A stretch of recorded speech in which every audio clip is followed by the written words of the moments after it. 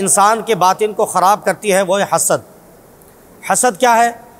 यानी जलना किसी से। ये इतनी अच्छी तिलावत कैसे कर लेता है? इसको जो सब पसंद करते हैं, इसकी आवाज़ तो बड़ी ज़बरदस्त है। मैं तो तिलावत ही नहीं कर पाता, मुझसे तो तिलावत नहीं होती, ना मेरी कोई तारीफ़ करता है। तो इससे ये छीन जाए मुझे मिल जाए।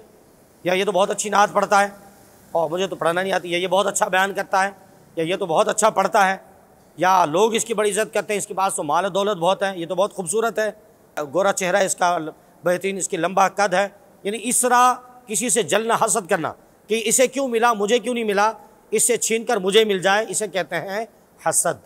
और हसद के बारे में हमारे प्यारे आका सल्लल्लाहु अलैहि वसल्लम ने फरमाया कि हसद नेकियों को इस तरह खा जाता है जिस तरह आग लकड़ी को खा जाती है।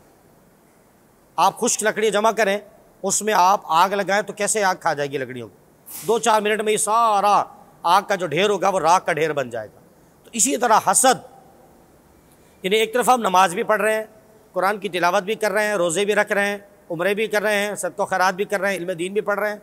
दूसरी तरफ़ हमारे दिल में हसद है, तालब इल्म का हसद है, दोस्त का हसद है, उस्ताद का हसद है, पड़ोसी का हसद है, रिश्तेदारों का हसद बहुत होता है कि जनाब रातों रात कैसे अमीर हो गए? यानी रातों रात इन्होंने मकान भी ले लिया इनके पास गाड़ी भी आ गई तो ये जलना, ये कुड़ना, इसका कुछ भी फ़ायदा नहीं होता, सिवाय इसके कि हासिद अपनी हसद की आग ही में जलता रहता है। क्योंकि ये अल्लाह की तकसीम है। नेमतें अल्लाह ताला की तकसीम होती हैं। अल्लाह ताला जिसे चाहे बादशाह बना दे, जिसे चाहे फ़कीर बना दे। तो बंदे को चाहिए कि वह अल्लाह की तकसीम पर राज़ी रहे। किसी को अल्लाह ताला बहुत अच्छा हाफिज़ कुरान बना देता है, आलिम दीन बना देता है कारी कुरान बना देता है अच्छा नात खान बना देता है। ये उसकी अता है, उसकी देन है। किसी को बहुत ज़्यादा माल दौलत अता फरमा देता है। किसी को खूबसूरती अदा फरमा दे, किसी को कोई फ़न फ़न अता फरमा देता है। तो किसी को मामूली सी कोई ऐसी यानी सलाहियत अता फरमा देता है कि जिसकी वजह से बहुत ज़्यादा वो माल दौलत जमा कर लेता है। तो ये सब अल्लाह ताला की क्या है? अता है। अल्लाह ताला की तकसीम है। तो हमें क्या चाहिए कि हम अल्लाह ताला की तकसीम पर राज़ी रहें और अपने दिल से हसद को निकाल फेंकें। किसी से भी ना जलें। ये सोचें कि इसे जो दिया है, अल्लाह ने दिया है। हाँ ये ज़रूर है। दुआ ज़रूर कर सकते हैं कि अल्लाह, जिस तरह तूने इसे कारी कुरान बनाया हाफिज़ कुरान बनाया नात खान बनाया, आलम दीन बनाया अच्छा मुकर बनाया, मालदार बनाया, खूबसूरत बनाया। अल्लाह इसके, यानी इस नेमत में और बरकत अता फरमा, मुझे भी अता फरमा। मुझे भी ऐसा अता फरमा। रश कर सकते हैं, दुआ मांग सकते हैं, ये जायज़ है। गिबता। लेकिन हसद जायज़ नहीं है। हसद जब दिल में पैदा हो जाता है किसी का तो ये दिल का मैल है। इससे दिल मैला होता रहता है। बातिन नजासत से भरता रहता है, ख़राब होता रहता है। जब ना मतलब मुसलसल हसद बढ़ता रहेगा तो दिल में ख़राबियाँ अच्छा फिर क्या होता है कि हासिद जब कुछ नहीं कर पाता तो फिर वो दुश्मनी पर होता रहता है। देखते हैं ना, रिश्तेदारों में बहुत चक्कर चलता है तावीज़ात का। जब देखते हैं कि जनाब, अब हसद कर करके तो हमें कुछ हासिल नहीं हुआ। अब क्या करो, इन पर तावीज़ात कर दो। अक्सर ये होता है कि नौकरी अच्छी है तो तावीज़ कर करके नौकरी बाद छिन जाती है या कारोबार ठप हो जाता है, बंदिश करवा दी जाती है। आम तौर पर ऐसा होता है तो ये इसकी बुनियाद भी हसद हो होता है।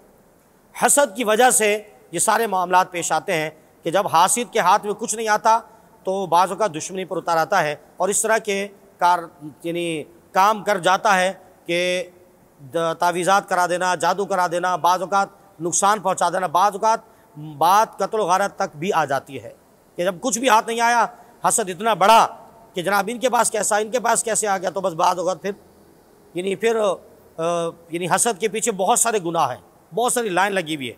हासिद, जब मैंने अर्ज़ किया ना कि हसद करने से तो हाथ, भाई मैं जलता रहूँ आपसे क्या होगा मेरे जलने से? आपको जो अल्लाह ने दिया, वो तो आपको मिल के रहेगा। मेरे जलने से क्या होगा कुछ भी नहीं होगा। तो फिर क्या होता है? जलने के बाद बंदा फिर दुश्मनी पर उतार आता है। फिर इल्ज़ाम तराशी भी होती है, बहतानबाजी भी होती है।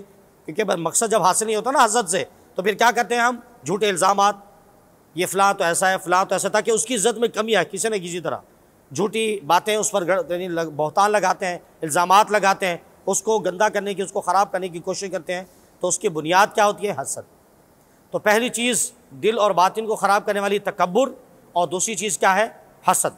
तो आज की इस तरबियती नशिश में मैं और आप ये अहद करके उठें, इरादा करके उठें कि इन अपने दिल को हसद से भी पाक करेंगे। किसी से हसद नहीं करेंगे, किसी से भी नहीं जलेंगे। चाहे हमारा दोस्त हो, चाहे हमारा रिश्तेदार हो, चाहे हमारा पड़ोसी हो, अल्लाह ने उसे अता फरमाया तो उसके लिए दुआ करें कि अल्लाह से और अता फरमा, मुझे भी अता फरमा। क्योंकि हमारे जलने से उसकी नेमतें कम नहीं हो जानी।